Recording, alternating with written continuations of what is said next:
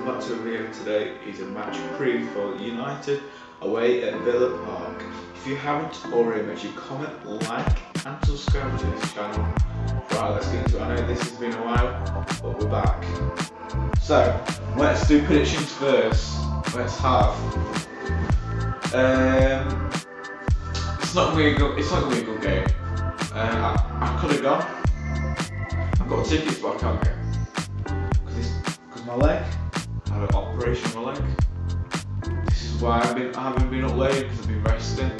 But slowly getting there. But unfortunately, I can't attend the Villa game. But I don't care as much. But let's do predictions first. 3-1 Villa. Ollie Watkins and Matty Cash for one, and Archer with one with us. Let's go into lineup predictions. I've got League One in goal, League One win in goal. We were back four of NL, um, Robinson, Trusty, Baldock.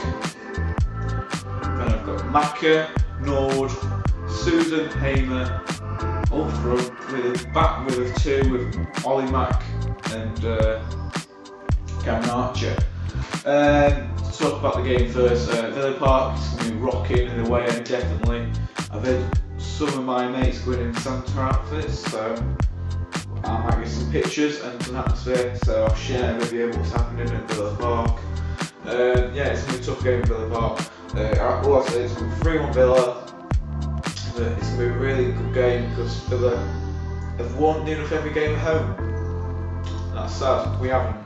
We've only won two games at home.